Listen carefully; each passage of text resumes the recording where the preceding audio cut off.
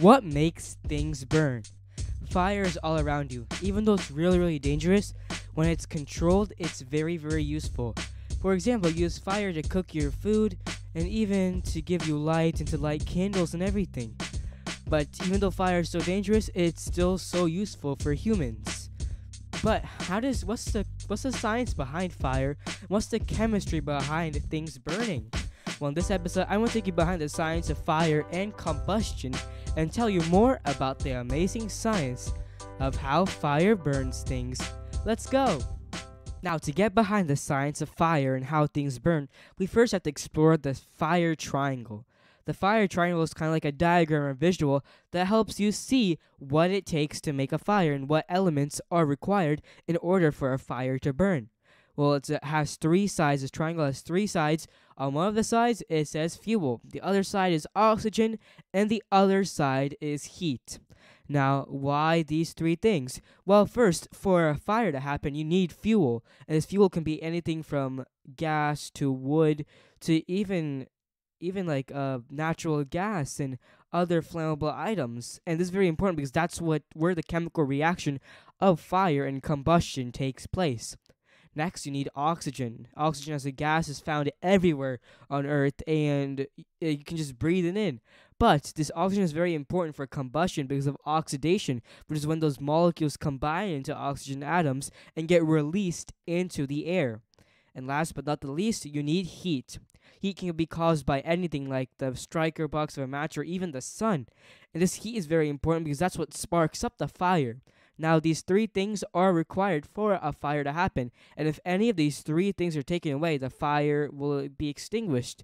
That's why people use water on fires to prevent the prevent the heat from spreading, or sometimes even cover up a fire to extinguish it. And these are all because this is all because of this fire triangle, and this is what causes fires to form. And these three things are required for fires to form. Now, why do things burn and what happens when things burn? Well, this is all thanks to combustion. Combustion is the chemical reaction where something plus heat and this fire equals a large output of energy. Let's break it down a bit. Before we get into more fiery science, I just want to remind you to subscribe to this channel below please subscribe and get me closer to reaching the goal of 1,000 subscribers by the end of 2024. So don't forget to hit that subscribe button and also leave a like on this video. Thank you so much. And now let's get back to the science. Well, what is combustion? Well, combustion is when a chemical process where something plus oxygen equals a large output of heat and a few other things. Now, if you were to write a chemical equation, it would be something, let's just say coal plus oxygen equals other things like heat and energy, but it also produces other things like carbon dioxide, which is coal and other all these other living materials like wood are all made of carbon, and when it bonds with oxygen, it creates carbon dioxide. So we have different outputs of it, including energy, carbon dioxide, and some other waste things. Even water vapor can be formed through a fire. And that sounds pretty cool, right? Even though the fire is so hot, one of the byproducts of this reaction is water vapor, especially with burning things like hydrogen. And all of this thing is thanks to combustion, because combustion is what helps fires happen. And this entire chemical process causes things to burn. And that's why you see ashes, those just leftover waste from this chemical reaction. When you add this oxygen and the fuel and even the heat, that will create this giant reaction which produces energy, light, and sometimes even sound. That is combustion, and that is why things burn. It's really cool, right? So many things going on behind the science of fire that we use for cooking every single day. Even though fire is really extremely dangerous, it can still be controlled and be used for amazing things, like rockets that take to the skies. It's so amazing. Alright, let's review what we learned in this fiery episode. In this episode, we learned that fire is, is caused by the fire triangle, and the three elements of the fire triangle are fuel, heat, and oxygen. And these are all important in causing fires. Now, fire is mostly caused by a chemical reaction called combustion.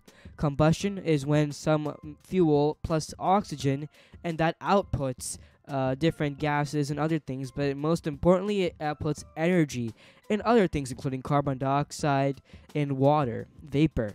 And this is all thanks to this combustion reaction, is why we have fires. Even though they're so dangerous when you contain them, they're used for a lot of things like cooking and even just making your room smell good with candles. Fire is very useful, even though it's dangerous, and humans have found a way to harness fire for good. It is so amazing to think that so much science is behind all this. Thank you so much for listening to this episode of Spectacular Science. Spectacular Science is produced and hosted by me, Akshay Raman. Our theme song and additional music are by Charan Ramachandran.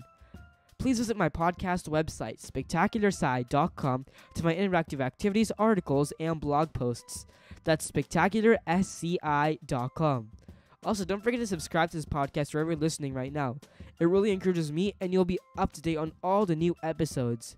Subscribe and share this podcast with your friends and family. Thank you so much. Do you have a science question you want answered on a Spectacular Science episode? Well, if you do, head over to spectacularsci.com slash contact to send me your amazing science questions. Thank you so much. Thanks for listening, and we'll see you on the next episode of Spectacular Science next week. Keep thinking about science.